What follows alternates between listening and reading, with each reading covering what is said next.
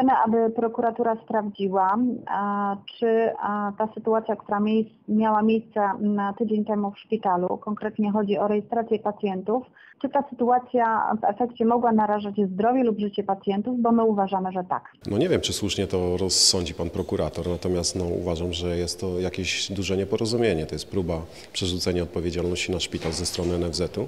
Natomiast, no cóż, no, czekamy, czekamy, czekamy na wezwanie do prokuratury.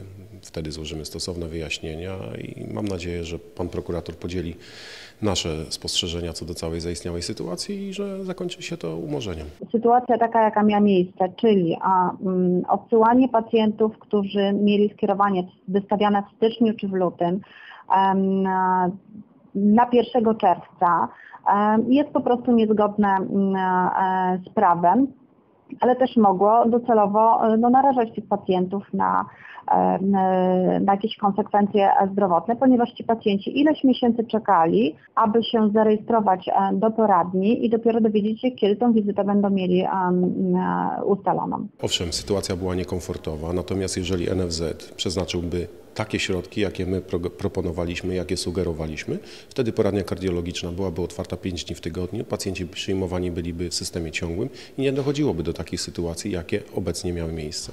Natomiast NFZ nie wyraża na to zgody, cały czas obcina nam środki finansowe i chętnie byśmy widzieli Państwa urzędników z NFZ-u, którzy byliby tutaj w szpitalu, wytłumaczyli pacjentom, dlaczego ograniczają dostępność do specjalistów, dlaczego coraz mniejsze limity są na leczenie pacjentów północnej części województwa. No, chcielibyśmy uzyskać na to odpowiedź.